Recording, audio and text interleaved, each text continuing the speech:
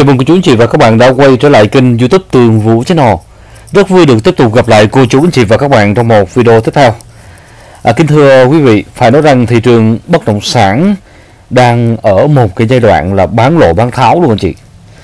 Trong à, quý 3 năm 2024 này chúng ta thấy rằng thị trường à, bất động sản nó vẫn đang rất là ảm đạm.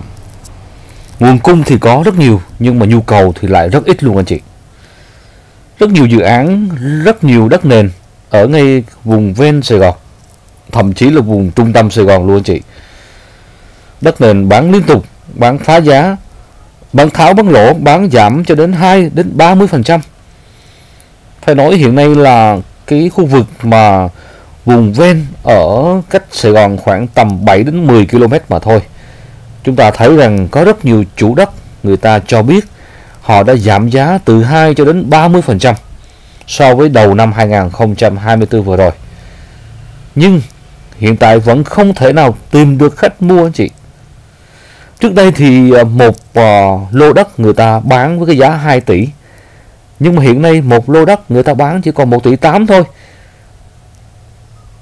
Nhưng mà không thể nào tìm được khách đến mua. Thậm chí là chủ những lô đất, chủ của những căn biệt thự, những căn nhà phố liền kề người ta đã phải cắt lỗ và rao bán lỗ luôn. Nhưng những lô đất này dường như chẳng ai để ý đến anh chị. Những căn biệt thự cũng chẳng ai để ý đến luôn. Sài Gòn, Hà Nội cũng vậy anh chị. Trước đây thì chúng ta biết rằng đất vùng ven đô là người ta phân lô ra bán rất nhiều. Rao bán giá khoảng 4-50 triệu một mét vuông.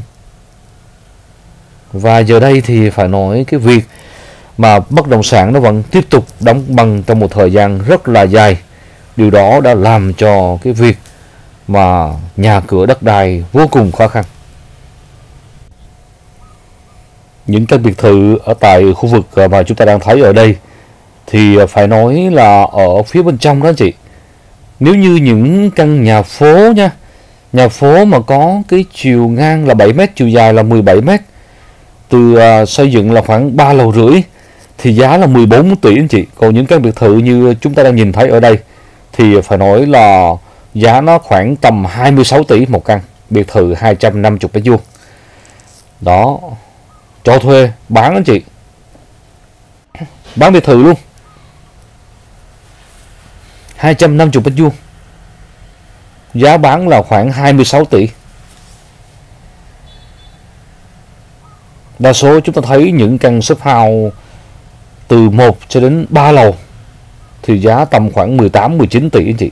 Diện tích là 126 mét vuông.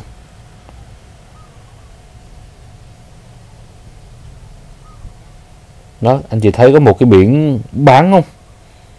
Bán biệt thự luôn.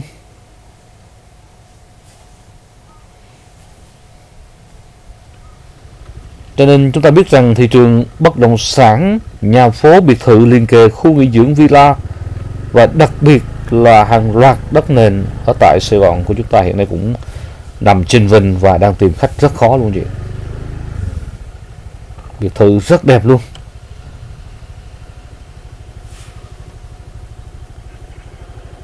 Ừ, nhà bán, chính chủ.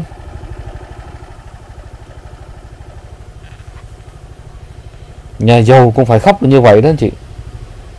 Rất là khó để mà tìm khách đến mua nhà vài chục tỷ anh chị nhé Căn biệt thự như thế này là 250 mét vuông là giá khoảng 25 tỷ, 26 tỷ luôn.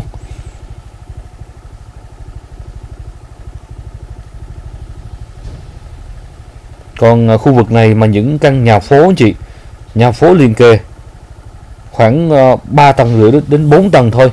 Diện tích là 120 mét vuông. Giá bán là khoảng 15 tỷ, 14 đến 15 tỷ. Đó, nhà bán chị.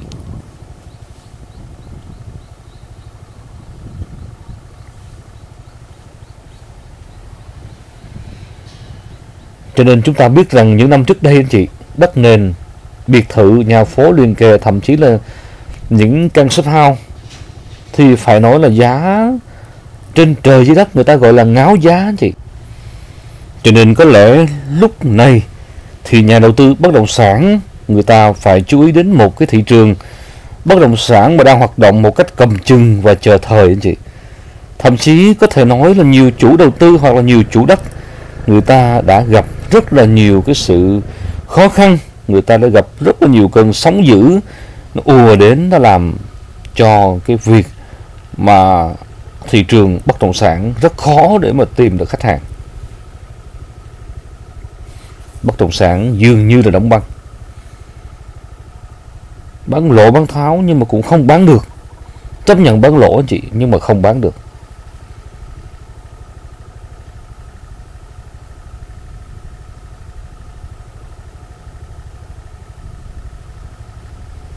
Thị trường bất động sản gặp nhiều áp lực, quá nhiều áp lực. Và phải nói cơn khủng hoảng vẫn đang tiếp tục chưa thể nào dừng lại. Trong cái năm 2024 này, mặc dù là luật nhà đất, luật đất đai được áp dụng ngày 1 tháng 8 năm 2024 này. Cơ hội cũng là thách thức cho nhà đầu tư.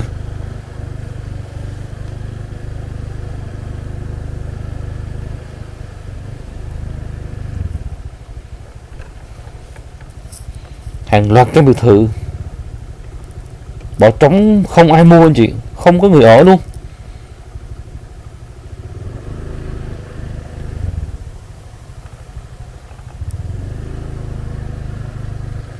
Tất nhiên thì người ta vẫn hy vọng thị trường bất động sản nó có một cái tia sáng. Một cái tia sáng đó chị. Nhưng mà thực sự ngày nay thì bất động sản dường như là hết thời ồ ạt rồi. Trước đây chúng ta luôn luôn rao bán âm âm ao ao và thu một cái cái nguồn lợi rất là kích xù. Nhưng mà ngày nay thì dường như cái việc mà rao bán cắt lỗ bán tháo để thu hồi vốn liên tục xảy ra.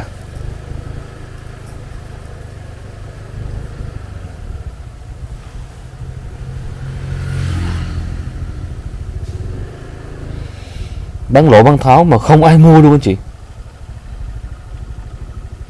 Quá khó khăn.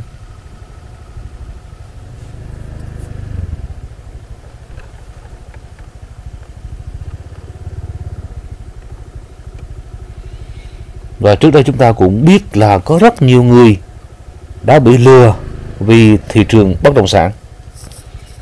Cho nên chúng ta cần cảnh giác trước những cái chiêu trò bán cắt lỗ bất động sản, anh chị rất nhiều khách hàng và có thể nói là không ít khách hàng đã bị sập bẫy trước những cái lời quảng cáo cắt lỗ, bán lỗ bất động sản được đăng tải hàng loạt trên mạng xã hội hiện nay.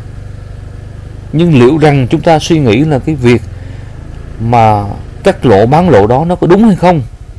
Và thực hư, có phải là cái việc cắt lỗ, bán lỗ đó có đúng hay không?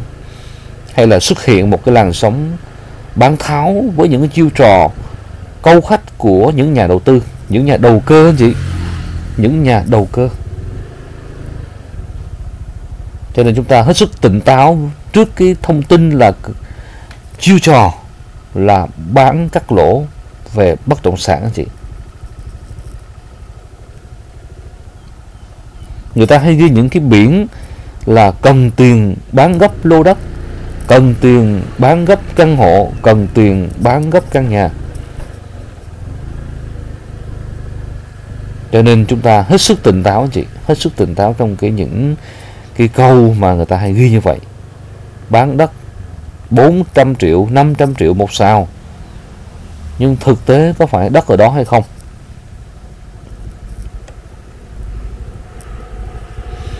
Cho nên hiện nay chúng ta lên mạng xã hội, chúng ta search cái từ là cắt lỗ bán cắt cắt lỗ bất động sản, bán rẻ rồi bán gấp giá rẻ.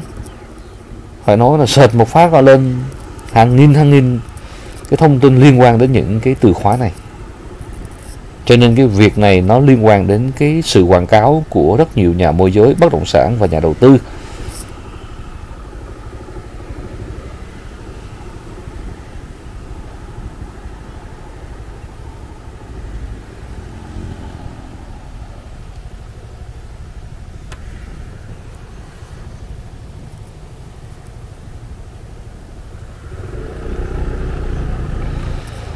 Với việc thị trường bất động sản bán tháo rất là mạnh như hiện nay. Thì chúng ta có nên mua, có nên bán hay là nên chờ anh chị? Với những người có nhu cầu mua nhà ở, mua đất, nếu chúng ta có tiền, chúng ta có thể mua trong thời điểm hiện nay hay là chúng ta tiếp tục chờ trong thời gian tới để xem thử là thị trường bất động sản nó có giảm xuống nữa hay không? Bước vào cái quý 4 năm 2024 này thì liệu rằng thị trường bất động sản nó có được vượt qua cơn khó khăn hay không? Hay là những phân khúc bất động sản nó có giảm giá xuống hay không? Và nhiều nơi có cắt lỗ, bán lỗ hay không?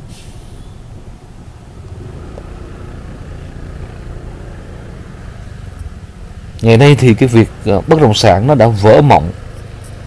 Chính vì vỡ mộng đó cho nên rất nhiều người buộc phải bán tháo, bán lỗ.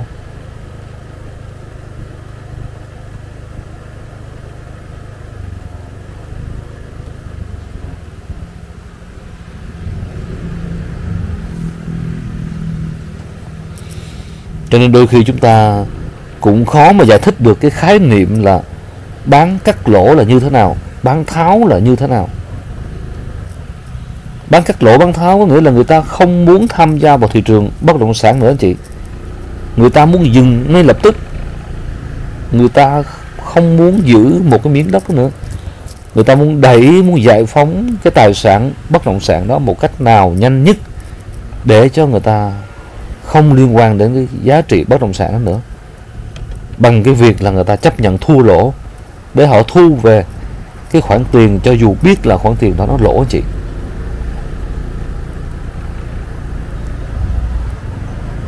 Cho nên chúng ta biết rằng là bất động sản mà khi đã nói cái việc bán cắt lỗ thì rõ ràng là chủ nhà hoặc là nhà đầu tư người ta chấp nhận với cái giá thấp hơn, hoặc là bằng với cái mức giá ban đầu người ta bỏ ra.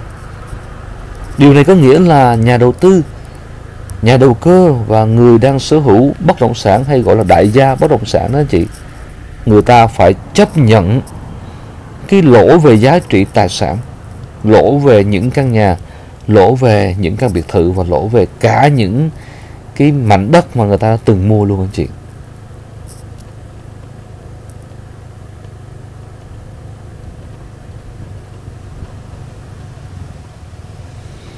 Cho nên cái việc mà bán lỗ, bán tháo hiện nay cũng chỉ vì là thị trường bất động sản nó vẫn đang chưa thể nào hồi sinh được chưa thể nào hồi sinh anh chị. Bây giờ tìm khách hàng bỏ ra 5 tỷ 7 tỷ hoặc 10 tỷ để người ta mua một căn nhà, mua một miếng đất, hay là mua một căn biệt thự, hay là mua một căn nhà phố liên kế, thì chưa chắc gì mà dễ tìm đâu anh chị. Rất là khó luôn.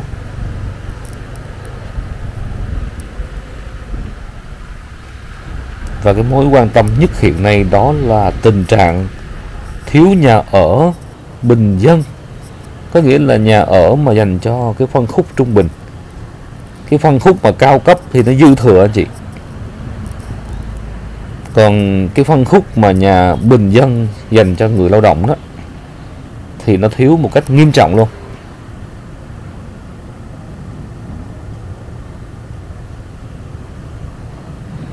Bán đất bán đất chính chủ, bán sổ đỏ giá thừa lưa.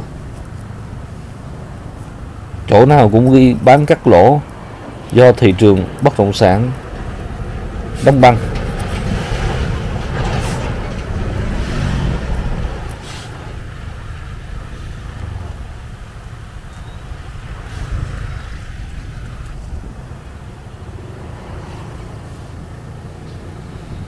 Cho nên chúng ta sợ nhất là cái việc mà chúng ta mua nhưng mà chưa biết giá đó là giá đúng hay là giá ảo chị. Sợ nhất là như vậy. Tất nhiên ai mà có tiền người ta không chịu áp lực để mà trả lãi ngân hàng, trả tiền vay đó thì người ta vẫn ôm cái tài sản đó. Nhưng mà phải nói trước một áp lực, gọi là áp lực về tài chính. Cho nên người ta buộc phải bán tháo bất động sản đó để thu hồi lại tiền để mà trả lại cho ngân hàng anh chị. Trả những cái khoản vay trước đó.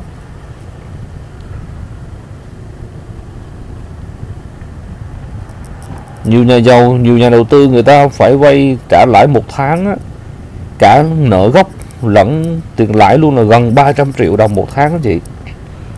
Phải trả cho ngân hàng.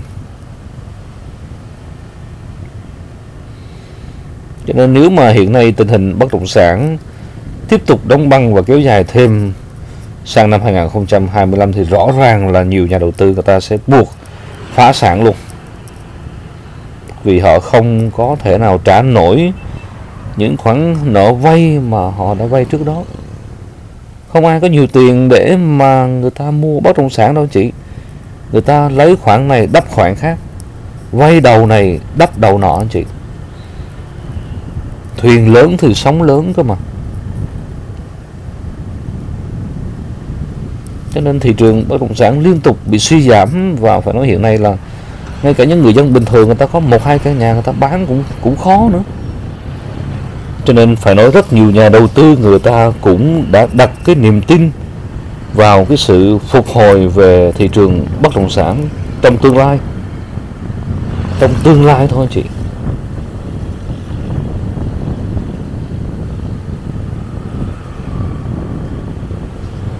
Bán cắt lỗ mà hai chục phần trăm, ba chục phần trăm. Thậm chí là trước vụ sức ép, người ta buộc phải cắt lỗ đến 4 đến 60 phần trăm. Sốc nặng luôn anh chị. Áp lực về tài chính hàng loạt nhà đầu tư, hàng loạt nhà đầu cơ phải rao bán cho chính nhà đầu tư của mình luôn 4 đến 50 phần trăm. Tất nhiên thì cái việc mà bất động sản được đánh giá là một trong những loại tài sản mà chúng ta nếu có tiền đầu tư vẫn an toàn hơn vẫn an toàn hơn anh chị Hy vọng thì bước sang năm 2024 thị trường bất động sản sẽ không còn trầm lắng nữa và chúng ta cũng sẽ được có nhiều cái cơ hội hơn trong cái việc mà kinh doanh bất động sản.